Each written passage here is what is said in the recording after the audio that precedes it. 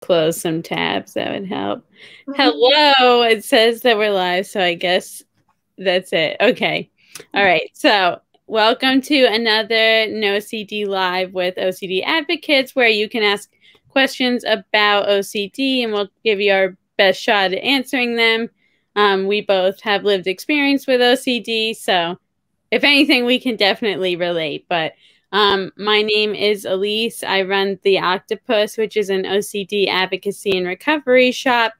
Um, it focuses on empowering people in their recovery um, and also teaching the world more about what having OCD is really like because people tend to say that it is something else than what we actually experience.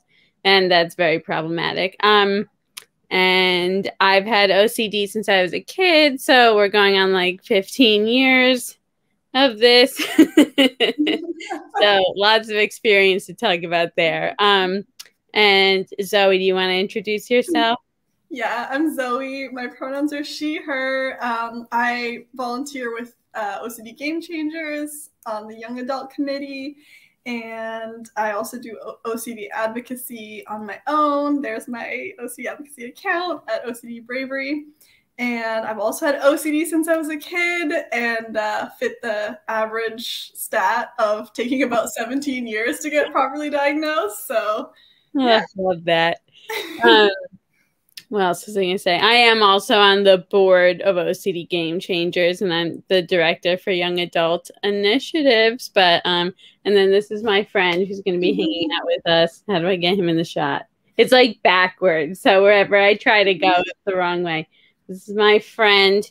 He is a stuffed pink elephant. If anyone's familiar with the pink elephant example used in OCD therapy a lot, which shows you that you should not suppress your thoughts because if you try not to think of a pink elephant, it's all you can think about. Um, this just got here today. It's actually a fundraiser that my shop is doing.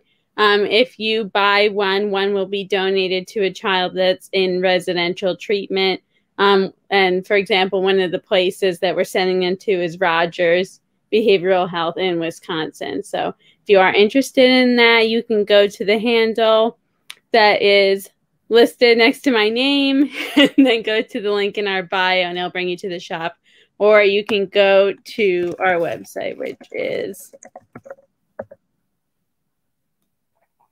Okay, I sent it. It's www.theocdtopus.com. Okay, so now we will get to mm-hmm. your questions. Oh, wow, there's a lot of questions. All right. Okay, let's see. All right, I'll go first then. Actually, let me read what I'm getting into first.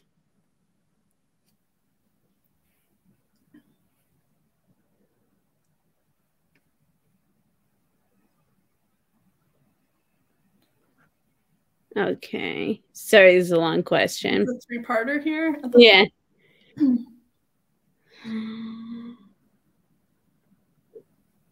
okay. It sounded like that person was just venting about their experience, which I can understand. They were talking about how they have a lot of um, intrusive thoughts uh, with the words "I wish" um, in front of them about harm and illness. Um, and it happens towards anyone at any time and it's hard for them to accept that part of their OCD because it makes them feel like a monster.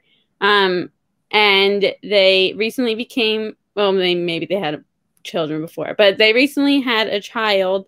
Um, so I can definitely understand that being even more distressing when you have young children around you and you're having thoughts like that. So I definitely understand, and I do think that that is a difficult thing for people to accept with OCD, especially those taboo, intrusive thoughts, um, because it's really hard to just move past them and not give them significance because it feels like you're doing something wrong. Yeah, so I can definitely relate to that and wishing that you didn't have the thoughts. But I can definitely tell you that you're not alone and that there is treatment available that can hopefully help with that and I give you a lot of props for being a mom and dealing with that. Mm-hmm. Yeah, I relate to the harm OCD thoughts. And it can even feel like irresponsible at first when you're starting ERP for the harm OCD and you just feel like you should be doing more. But yeah, it's it kind of gets better with time. Yeah, I also thought it was interesting noting that the thoughts sometimes start with I wish because I feel like at first I read that a lot of people's thoughts started with what if, and then I got mm-hmm. freaked out that mine were more like commands, yeah. like do this, or I would love to do this, even though I would not love to do whatever XYZ thought is happening. Mm-hmm. But I think that's important too. Um, because a lot of people will say, What if this happens? But sometimes intrusive thoughts don't sound like that. They sound a lot more mm-hmm. direct. Mm-hmm. Let's see. You want to read the next one? Sure. Can OCD make you question over and over if you want the content of your thoughts? I think so. Yes. because you could often like wonder is this actually OCD or do I want this? And then I think that's called like meta OCD or obsessing about obsessing. Like and you spend so much time compulsively trying to figure out is this OCD or is this real? Yeah, and the more you try to figure it out, the less certain you are about how you feel. So like the mm-hmm. more you check for your check your feelings and like try to figure out how you feel the less your natural feelings um are able to be deciphered or figured out um i definitely have had mm-hmm. issues with this um where it wasn't even about the thought itself it was about if i liked it or if i wanted that and trying to figure out if i wanted it. And then you just fall down this hole of like weird feelings. And you're like what are the real feelings and the fake feelings and all this stuff? So uh, i i did a lot better when i ignored the urge to do that even though it's really really tempting. Um it doesn't actually solve anything and it actually mm-hmm. feels much worse than just getting through the urge to figure out how you feel and just moving on to something else. It depends on the theme though, because like with ROCD, I definitely could still get caught in that. So, but I definitely can relate to that problem. That's what I was thinking of too. It like takes you away from the actual experience of like being with that person or doing that acti- activity or whatever it is that your yeah. thoughts are focusing on. I feel like with ROCD, that's relationship OCD, by the way, which is when it's focused more on like your relationship with someone else um, that's the one where I'm like, it's okay to try to figure out how I feel because that's normal. Everyone tries to figure out how they feel, but it's definitely mm-hmm. you. You. I know that it's OCD for me and not what other people are doing. yeah, it's like the extent of it or like how much time. Yeah, yeah. Yeah. Let's see. Where do you find the willpower to do ERP, especially without a therapist? Um, that is a great question. Um, especially because therapy is not accessible to everybody. Um, for me, I do best doing exposures when they're tied to my values, like very strongly.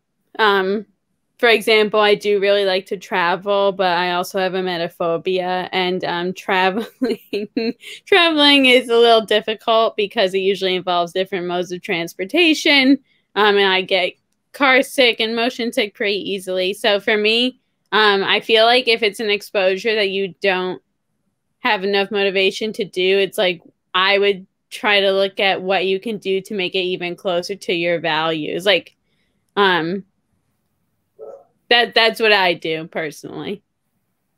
Any mm-hmm. thoughts, Zoe? Yeah, I agree. Like having some kind of motivation that ties in with that particular theme, like something that you want to be able to do again or do for the first time.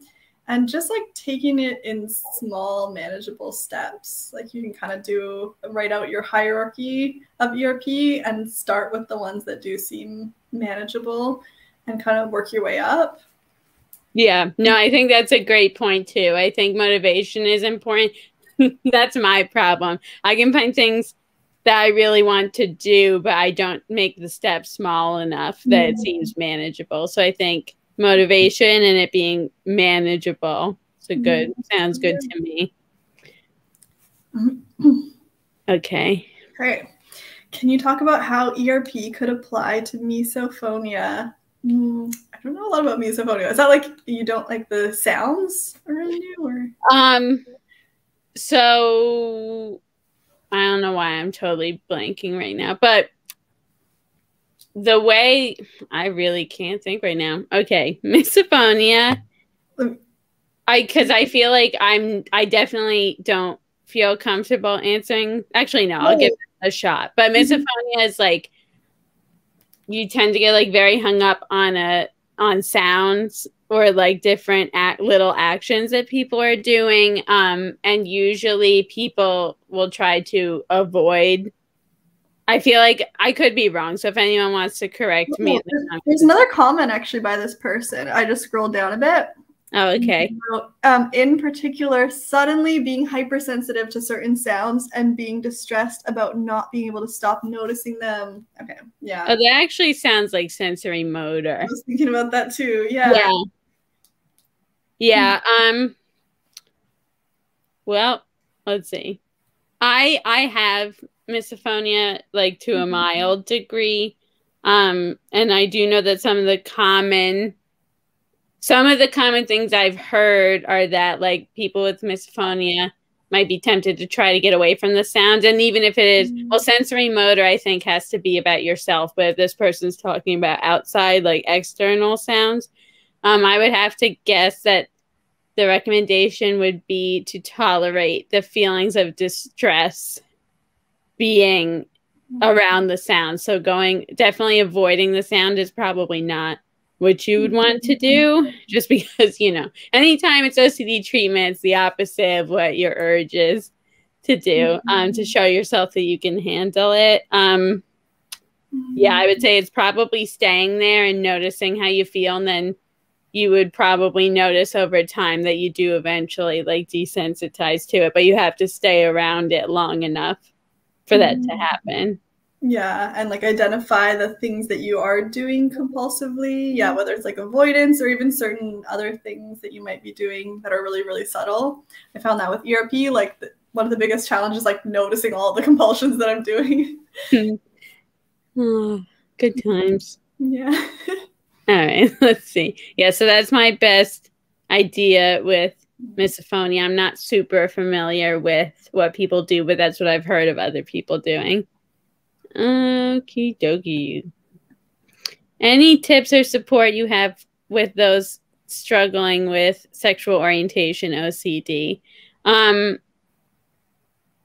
I feel like a lot of the tips and support um, are the same between all of the themes, which is good in case the OCD comes back at some point. Um, if you manage to get through one theme, it's good because then you can apply the same thing to other themes. But um, so with sexual orientation OCD, it would be important to figure out what compulsions you're doing regarding your sexuality. Um, maybe it's avoiding dating, maybe it's dating a lot to try to figure out what your sexuality is. Maybe it's Googling things.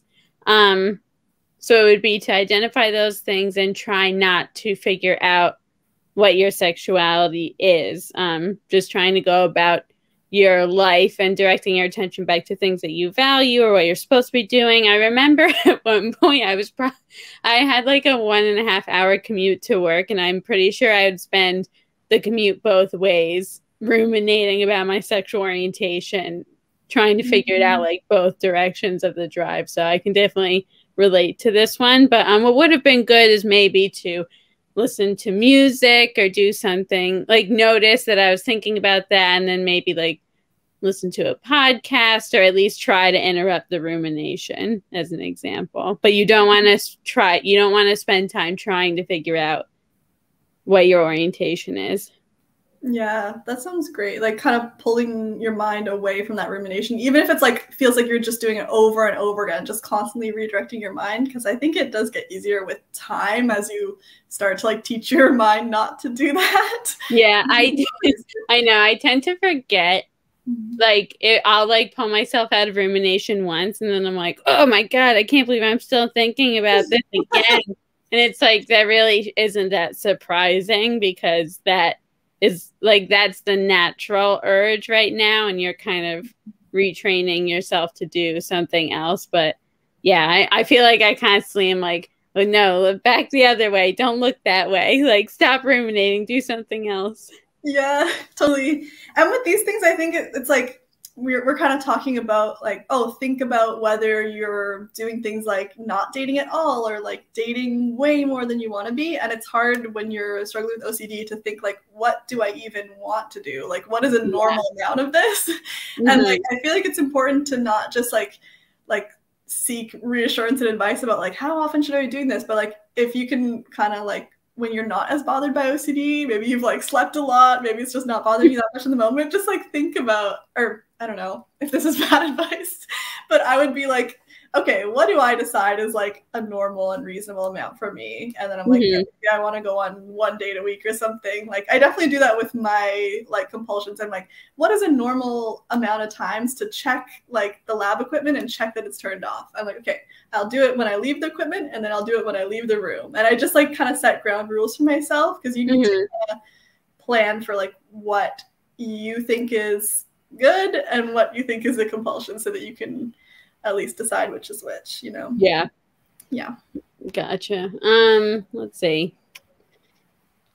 Okay.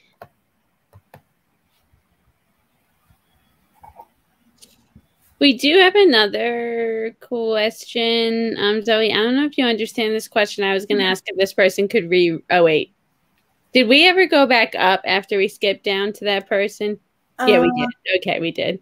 Okay. Um, uh, do you understand this question? If not, maybe that person could rewrite it.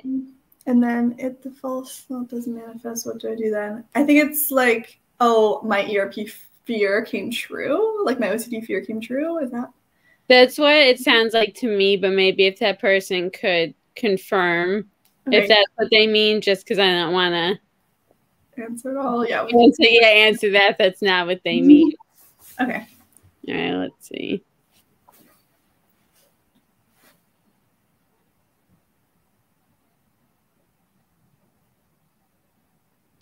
Okay, hang on.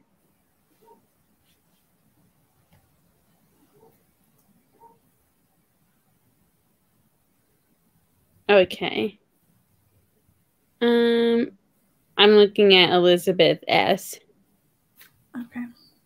So um, it's a two part question. So I'm going to put the second part.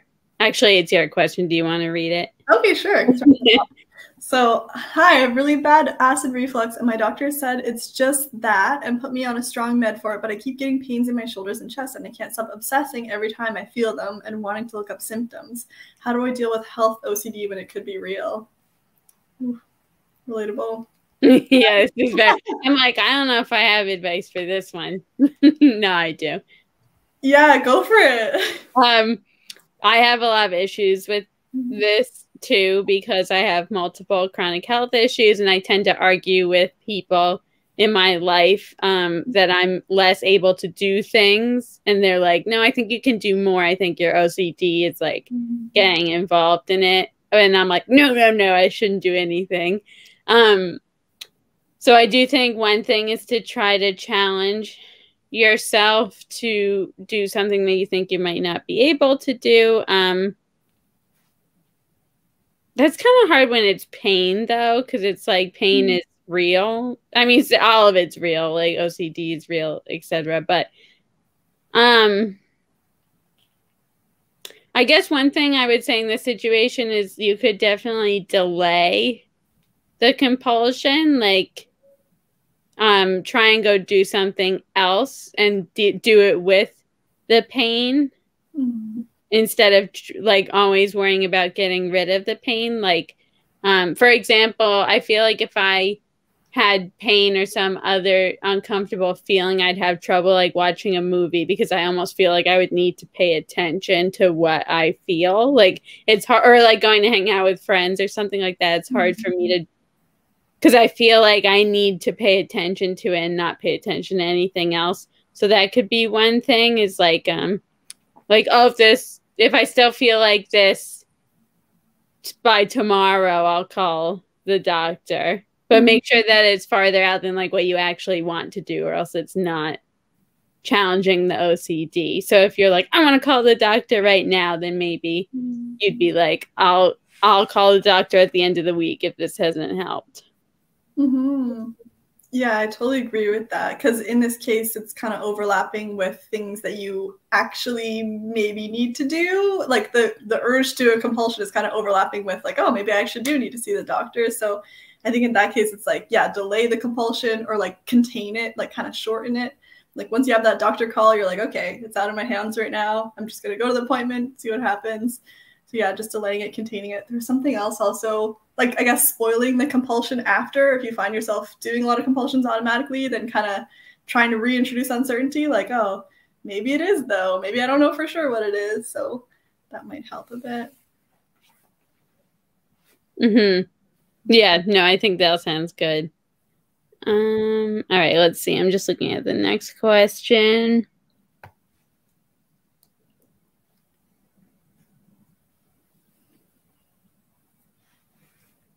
All right, let's see. So next question is help. I've been struggling with OCD for three months now, and the sight of pubic hair makes me want to wash my hands aggressively and thought of somehow touching it lying around gives me a lot of anxiety. Um, I definitely would recommend if you are able to work with a therapist to give you ideas of exposure around that theme. Um, I can already think of many things they would probably ask you to do um, in incre- incremented steps that would make it easier for you um, to challenge yourself. But um, definitely avoiding it is not going to help.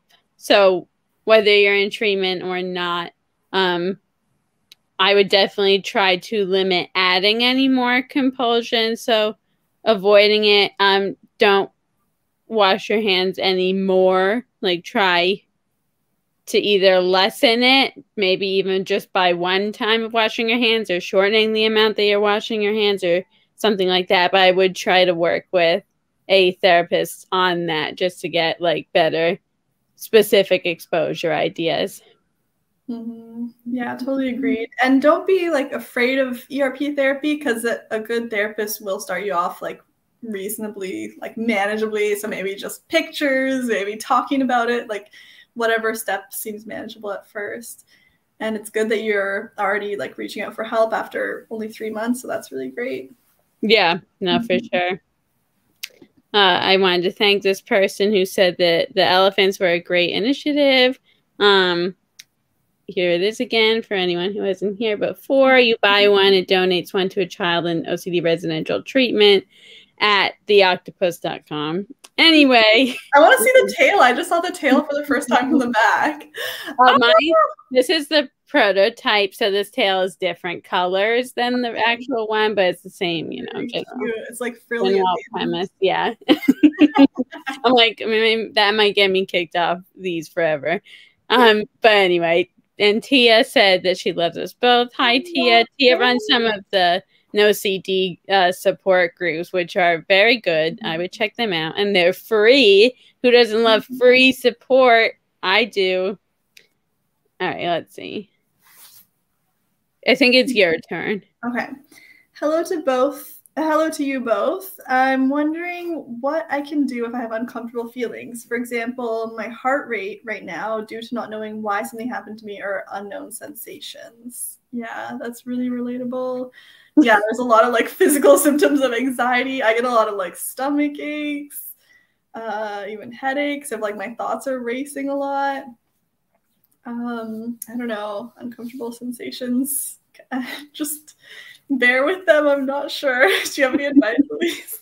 Uh, that's the problem with these questions. Sometimes I'm like, I have the same question. Yeah. I'm wondering what I can do. Uh, I feel like it's kind of similar to what I said before um, to the person who said, What if your health OCD is real? like about something mm-hmm. that's real. Um, just that you want to also direct yourself towards doing other things. Um, it sounds like you're you might be ruminating about your heart racing or you're having trouble pulling your attention away from it. Um, so trying to do something that requires you to pull your attention away mm-hmm. would be a good way to challenge that. Um, I also like I have had a lot of trouble with physical symptoms of anxiety, especially heart rate and feeling like I couldn't breathe was one a lot when I was younger. Um, I'd feel like I couldn't breathe, and honestly, I got so used to delaying the compulsion that I'd just be like, "Well, if I actually can't breathe, I guess I'll find out like really soon." And then I just go back to being on the computer, even though I still felt like I couldn't breathe. But yeah, I definitely that that's tough. But I think trying to bring your attention to something else would be a good challenge. Mm-hmm. All right, let's see. All right, we got some in the moment questions. All right, is it, it's my turn. Um, my son was recently diagnosed with OCD. My coworker is being quarantined for COVID. He is currently pacing the floor and asking me over and over if I have it. How can I help mm-hmm. him tonight? Ugh, I can relate to this. Um, so it's really great that you're on here trying to figure out how you can help your son, mm-hmm. by the way. Um, one thing, honestly, it was really it's hard for the person on the other end. But um, a big a thing that made a big difference in my family when I was younger with OCD was that my parents did not give reassurance.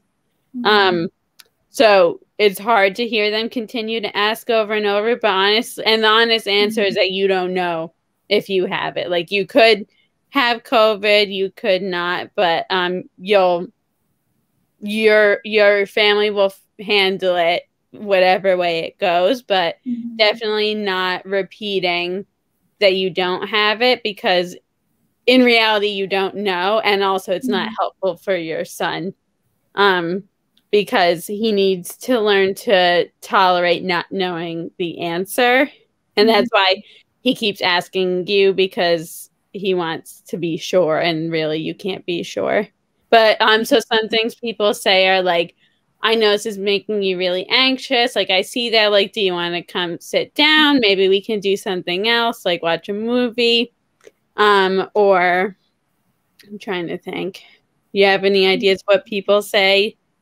no, that sounds really great. Like validating the emotion and how challenging it is is totally fine and helpful. Um, what else? Uh, yeah, I think it's okay to have like a gentle call for not not a distraction, but like a gentle call to move on to something else. Yeah. Yeah. I honestly usually need the push by mm-hmm. someone else being like, you know, we've been talking about this for a while. Why don't we go do something else? Because I won't always catch mm-hmm. it. I'll just keep thinking and ruminating out loud about it. But so hopefully mm-hmm. that helps. I'm a little excited on a separate note for them to move the webinars to Mondays because I feel like by Thursday I'm fried. Like trying to answer these questions and I'm like, I know I know there's an answer to this. I just can't think of what it is. All right, let's see. Tia. Hello. What are ways that people can help with your shop's pink elephant fundraiser if they can't afford to buy an elephant currently? This is an interesting question. Um, yeah, so one way you could help is definitely spreading the word. Um, just in general, we have a whole, a lot of, a lot of advocates are going to be posting on Instagram mm-hmm. about it. Um, you could share the page that the elephants are on um, on the website, and that will help um, get the word out to other people who might be able to purchase elephants, and then they still get the donation to um, children with OCD. I'm like, I should have more answers for this question, but um, yeah, I think that would be a great way to get involved. Just helping me to spread the word will help get more people to buy, which in turn helps more kids get the donation. So I would appreciate mm-hmm. anyone even just talking about it. You don't have to buy one to help the because Let mm-hmm. leave that to the people with the money. Sounds like a great answer. Yeah, sharing about the shop, sharing about the story in particular, because it's a really cool story and like uh, goal as well. And there's also some other really cute stuff on the shop. Um, like there's a pink elephant sticker. I have that by my keys because I always want to do like a bunch of checking right before I leave my house. And then I take my keys and I look at my sticker and I'm like, not today. oh, I love that. I do love when people tell me that they relate the stick it's usually the stickers but they relate the stickers directly to what they have ocd about. Like i know some people have put them in their car because they have a lot of compulsions when they drive and things like that. I do have one on my mm-hmm. phone. Mm-hmm. Mine's in, this is an advocacy one. It says ocd is not obsessive christmas disorder. So even i'm just standing there waiting for my food and i'm texting someone's probably like what does that say Oh, I love that that one has the word OCD in it because I want to get one that has the like word OCD in it for my laptop so that it can be like a conversation starter. But yeah. I have to embrace uncertainty on my laptop because I get a lot of obsessions about like career choices and mm. then I'm like embrace uncertainty. yeah, yeah, no, I can relate. And the pink elephant um is really nice because it is something that I think kids and adults can understand. Um, the pink elephant example, quickly again for anyone who hasn't heard it, um, it's used in OCD therapy a lot. Um, it's if I sat here and I was like, you can think of anything right now, but don't think of a pink elephant. You probably weren't thinking of a pink elephant until I said it. Well, maybe you were because we've been talking about it, but normally you weren't thinking of a pink elephant until I said it. And then when you're trying not to think of it, the idea of not thinking about it actually brings it back into your mind. so trying not to do that or trying to do that with things you don't want to think about, like maybe like taboo, intrusive thoughts, like pedophilia, harm, etc. Um, washing your hands, anything like that. Um, if you try not to think about it, you'll think about it more. So you need to be open to having any thought that really comes into your mind. But yeah, I learned that example as a kid, so it's pretty cool to have like a stuffed animal version of it. Um, let's see.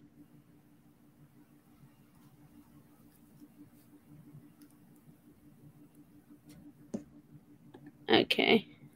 Hannah, Hannah's coming for me with this question. Oh no. Oh no. Currently me. I don't know whose turn it is. Either way. All right. Why don't you go then? Okay. This is too real. can obsessively trying to fix OCD make it worse?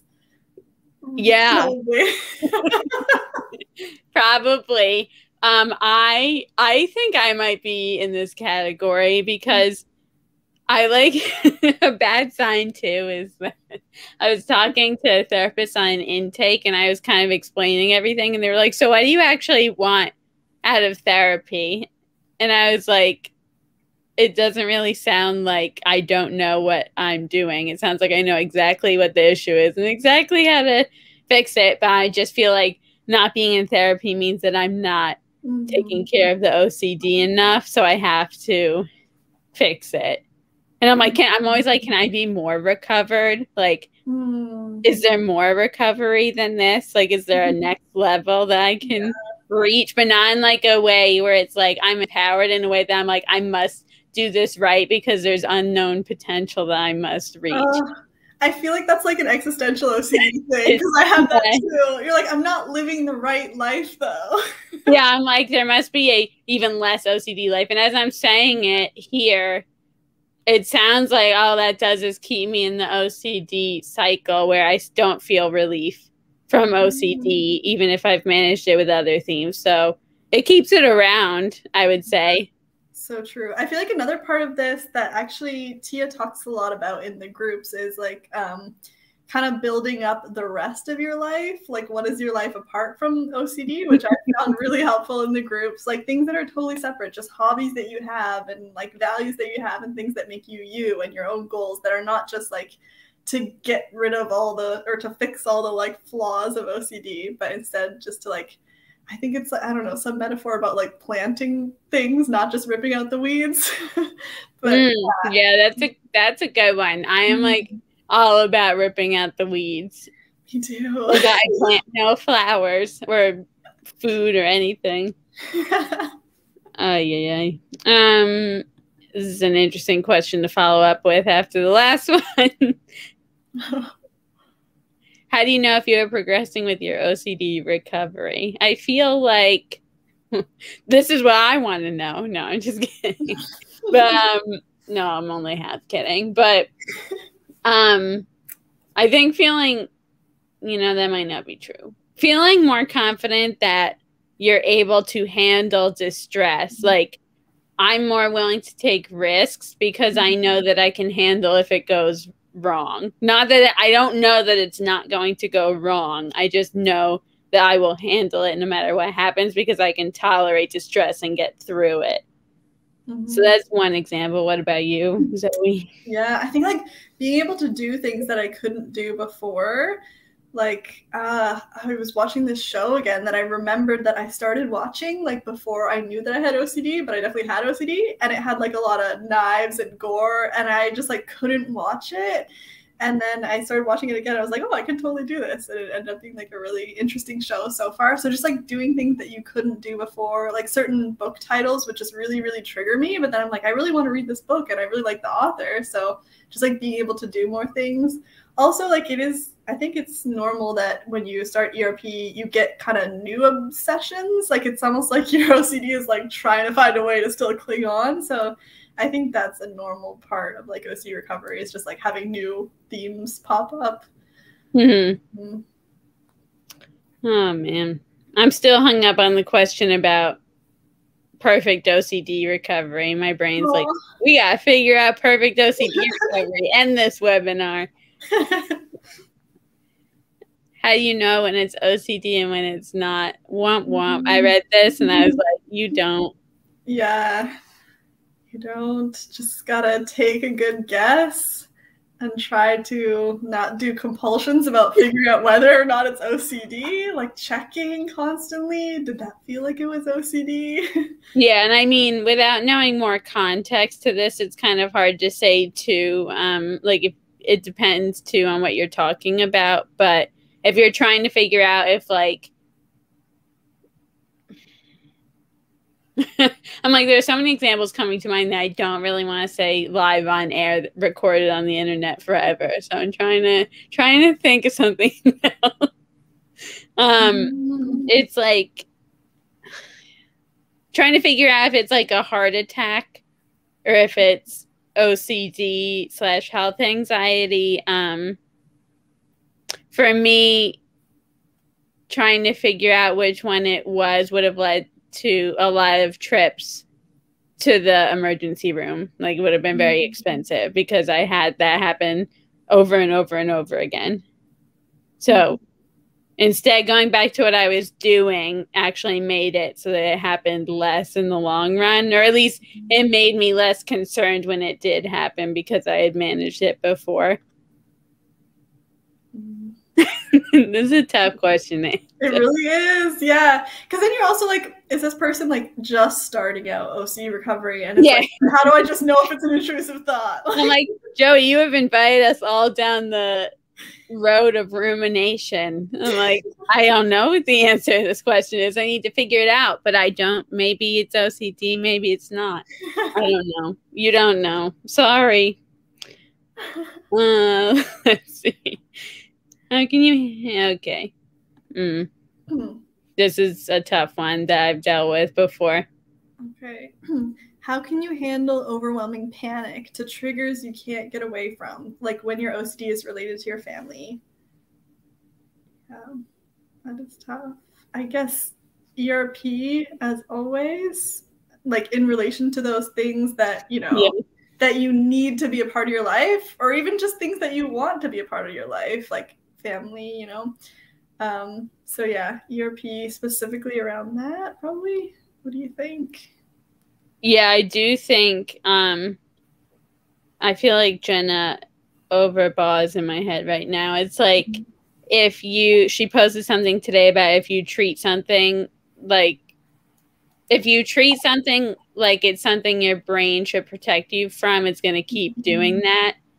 Um, so like avoid if you keep avoiding family, it's going to make you feel you're still going to feel panic around them. Like the best way through the panic is to stay near the triggers and not try to mm-hmm. get away from them like your family. Um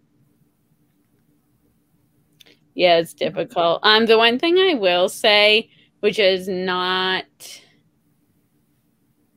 all right. So it's not OCD specific advice, but one thing I did learn um, from DBT, which is a different mm-hmm. kind of therapy, is um, if you're like really over the top panicking, like many, many mm-hmm. physiological symptoms, um, I like holding ice can mm-hmm. help or something like very cold.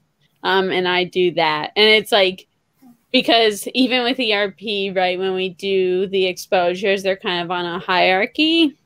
And maybe like being near your family is like a 10 instead of it being like a mm-hmm. four. And like it's really high. Um, so mm-hmm. using like a physiological hack to bring it down for me maybe brings it into like ERP doable territory rather than just like this is too much. I'm gonna compulse everywhere because I don't know what to mm-hmm. do. Yeah, that's a really good idea. You need to learn more about DBT. oh God. Okay, let's see. I only did it three times before it stuck, so no worry. DBT is a six month program, so I did that like three times. Tips for also probably wanted to know DBT perfectly because of OCD. Oops. ah, tips for a stressful ERP day. I always like to have a nice meal or some sort of treat mm-hmm. if I do mm. something difficult. Um, or watching TV, like something to de-stress mm-hmm. after you've done it. Um, making just making sure that you also give yourself time to do something relaxing. Mm-hmm. Totally rest, like making sure you're sleeping enough, especially if you're doing ERP like every day for a while. Definitely need to rest.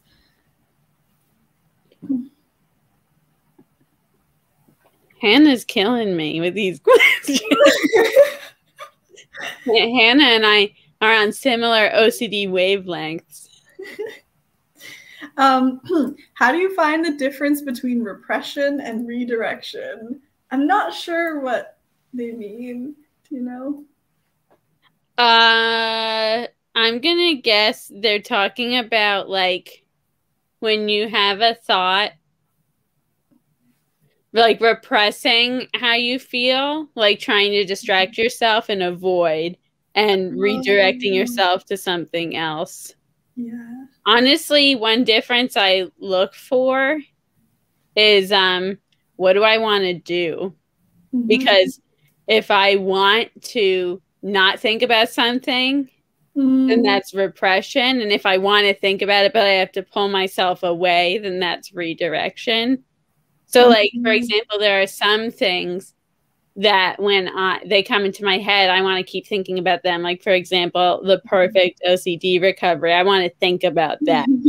I don't want to avoid. Like I want to. I'm. I want to think about it and figure it out, and that I would need to be redirected. The more challenging thing for me to do would be to do to talk to someone about something that's not that. Mm-hmm. Um or like running this webinar when really I just feel like the better thing to do would be to go work on that. But that's one thing. No, I'm fine. We're here. But and then repression is more like um when I used to have harm OCD thoughts, I would be like, I don't want to think about this. I'm gonna watch TV. I'm gonna sleep all day so that I don't have to think about it. Um, so for me, staying awake was like the more difficult thing because I wanted to repress it, if that makes sense. So I think that really is the only that's the only difference I can really describe. Mm-hmm. Yeah, I totally agree. Like some things you just have that like urgent compulsive need to either yeah avoid or just like constantly think about. So that's good to be mindful of because yeah, either of those could be a compulsion. Yeah, I feel honestly with OCD treatment, it's always doing the opposite of whatever you have the intense, desperate urge mm-hmm. to do. Yeah. Good times. oh no, this person has something that I have also. uh actually it's not really a question it's just them talking but what they were saying was that they have this pressure that they have to make sure they enjoy whatever i'm doing um which i do and it also got cut off but i do that too i'm like i can't waste any time and i didn't even mm-hmm. realize that was ocd until somewhat recently yeah mm-hmm. Ugh, alrighty, here we go. I had a four year relationship that ended because of relationship OCD. I'm finally mm. receiving treatment for it, but I realize that my OCD is at it, my worst because I was using her as a crutch. Any advice? Yeah, that's really difficult. I've mm. definitely um, used people as like the main way that I coped with the mm. anxiety from OCD. So that's very difficult. Um, I will say it does usually it has usually gotten better with time because I've had to sit through the distress of it without them. Yeah. Um, which is good. That the advice would be to my advice is to make sure that you don't try to find a new person to do the exact mm-hmm. same thing too, because it's more valuable for you to learn to sit with it on your own than like going to a new friend or a new family member, or a new romantic partner. Mm-hmm, totally. Yeah. Just like realizing that this is the pattern or the habit, and then giving yourself time to like break that habit and to let your brain adjust to a new way of doing things. Yeah. Like this is your chance to develop new coping skills, mm-hmm. like um, redirecting yourself or. Mm-hmm. I don't know. It depends on what you're going through, but it is this is a good opportunity. Yeah. Hmm. Mm.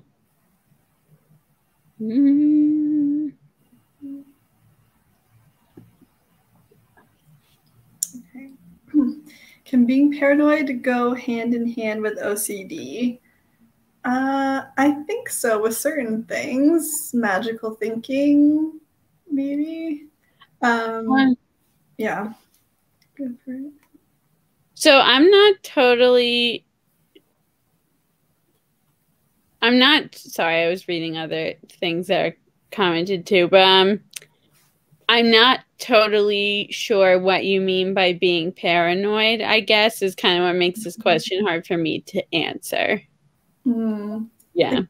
Yeah, I guess it depends on like your definition of paranoid. Certain things I could understand, like for instance, like fear of medication might be like a common thing for people with OCD, which is like kind of straddling between like potentially somebody might call that paranoia versus just like intense fear of contamination. I think where paranoia mm, kind of goes in with OCD is um people can feel paranoid, but they know that it's irrational and un- it, mm-hmm. unlikely. Okay. Mm-hmm. They know that it's like a little off for them to feel that way. Like it's not a super warranted feeling like it's kind of irrational where like maybe paranoia and something like schizophrenia or something like that um i don't think people who are in an episode when they have schizophrenia can really always tell that it's not rational mm-hmm. But that's like really tricky. I always find that really tricky when people are talking about OCD and they're like, they know it's irrational. I'm like, do I? Which maybe that means I have OCPD. I don't know, but well, I'll let you know. I'll get back. uh, let's see. Hmm. Uh, okay. Uh, what would you suggest one daily morning ritual those for people who are suffering with moderate OCD? So I didn't fully understand this question. If you could try to rewrite it, mm-hmm. um, that would be helpful. Let's see. Okay, I like this question. Mm. Where do you find the support group? Is that the one we were talking about before? Like Probably. Probably. I think those mm-hmm. are the mm-hmm. only support groups we mentioned. But if you Google NOCD free support groups, they usually come up for me, and that's how I get there. They're mm-hmm. also in the app. Don't know exactly where. Yeah. I think they used to be called community discussion groups. I don't know if that's still their name on the app. Mm-hmm. But um, you can, if you Google NOCD free support groups, it, it usually comes up saying online support. Yeah, usually comes up and you just like type in your email so that in your email inbox you get like the link to join. And there's a lot of different times, so and different like types of groups as well. Mm-hmm. Alrighty. Oop, I see PB community groups and the NOCD app.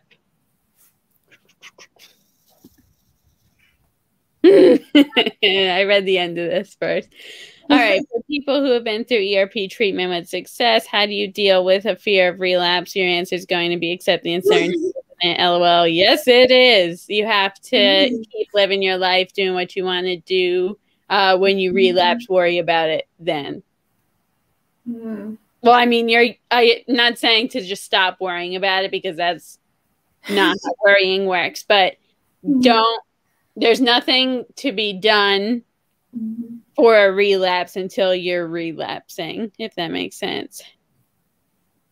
Makes like anything you do in preparation for the relapse is a compulsion, probably. Mm. I, so do what you would do if you weren't fearing a relapse. Yeah, I feel like community helps, like having friends with OCD, but I guess maybe doing that from a place of like wanting to connect with people rather than like compulsively collecting friends with OCD. but I think it has the fringe benefit of helping hmm. helping protect you in the case of relapse. Oh man. Another good one. Another fave. I like to worry about relapsing, even though I'm pretty sure I'm not even out of the original relapse. So no worries. Okay. Have you guys ever dealt with the do I even have OCD thoughts and how do you deal with this? Sorry, you ju- I just did the last question so you can do this one. yes, I do, especially cuz like probably because of the stereotypes that we have about OCD. Uh, sometimes that gets in my head, and I'm like, is this all just made up though? Um, yeah, for sure. That's part of the uncertainty, I think. And yeah, I think it's it's common. Fairly common, I think, for people with OCD to like wonder that, um, and also to wonder about other like mental health stuff. That's or physical health stuff yeah i had physical health issues and i that is where i find myself being like what if i don't actually have this and i've tricked mm-hmm. everyone into thinking i have this yeah. somehow yeah i like the little moniker that ocd is the doubting disorder. Once i heard hmm. that i was like mm, that i relate to that. I, I can doubt literally anything. I'll find yeah. oh man. Let's see. Mm-hmm.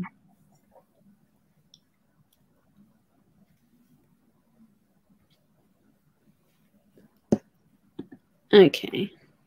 How do you deal with horrible physical anxiety and thoughts as soon as you wake up in the morning? So this is actually a pretty common problem um, for anxiety to flare or peak for some people in the morning. It has to do with cortisol.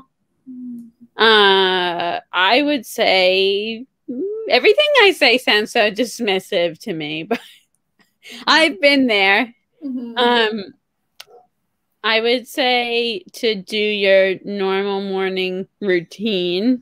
Mm-hmm. Um, I've also been told that drinking water can be very. I feel like this definitely could be compulsive.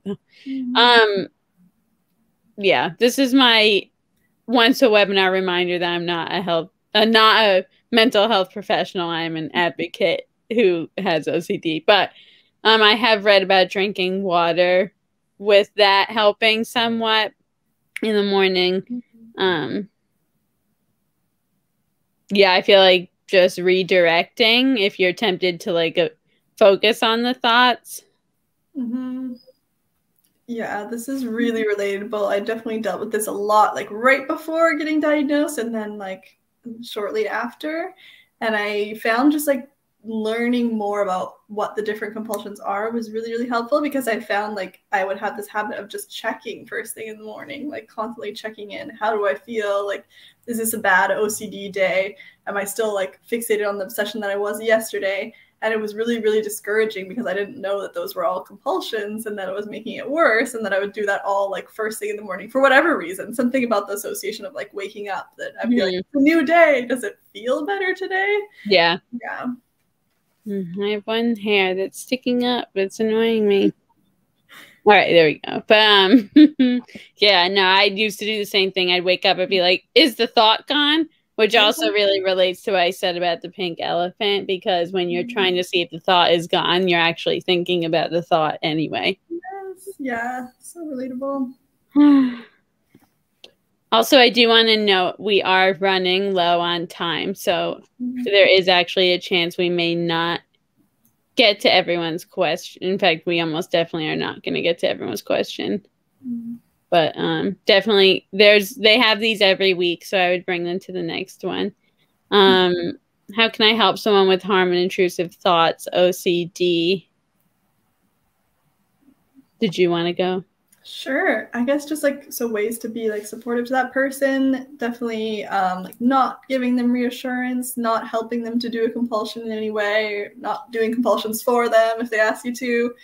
Um and kind of like yeah, yeah, I guess along that same vein, if they're just asking you repeated questions over and over again, kind of pointing out like, hey, maybe we need to take a break from this, uh, do something else um, and just like validate, just be like warm and validating, like explaining that you know how much it sucks, even kind of like educating yourself a bit, like watching some videos on what it's actually like living with OCD so that you can like relate to their experience.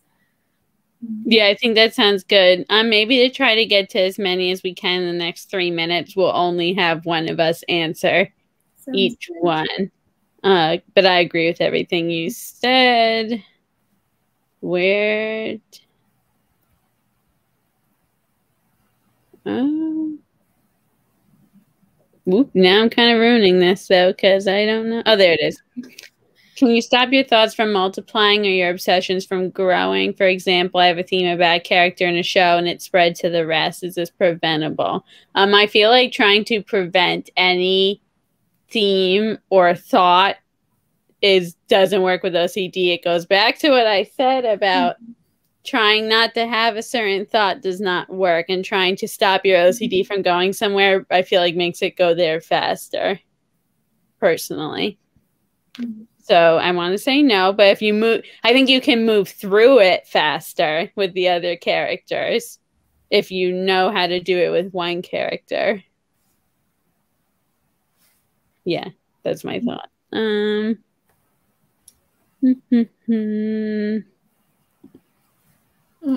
I have sexually intrusive thoughts. How do I deal with those effectively? So, yeah, I think just like responding to things in like a way that like welcomes uncertainty. So maybe just saying maybe, maybe not when you acknowledge the thought rather than, yeah, trying to push it away or trying to like instantly reassure yourself, like, oh, this can't be true. Um, and just making sure you're not like kind of changing your life too much because of this. Or if you are okay that's kind of unrealistic. Like try to take small steps back towards like the life that you want anyway despite of this. So if you're like avoiding relationships or intimacy or certain things just like like definitely working on erp with obsessions and then trying to take small steps back to like the kind of life that you want. And that will also like motivate you along the way too. Yeah. All right. You want to do speed round i want to finish everybody. Like, we're pretty close to the end um, is it common with OCD to have night terrors and not be able to go back to sleep? Uh, I do think that having problems with sleep and OCD is pretty common. A lot of people obsess in their sleep. I don't know specifically mm-hmm. about night terrors, but I would talk to, if you are seeing someone for treatment, I would talk to them about it. Why does OCD attach itself to the ones you love the most? Uh, I'm not sure because I can answer it. Yes, go for um, it attaches to the people you love the most because if you didn't care about the content, then OCD would have nothing to do with it because mm-hmm. you're not afraid. Like there are lots of uncertainties you accept every day without thinking about it, like if you'll get into a car accident or not.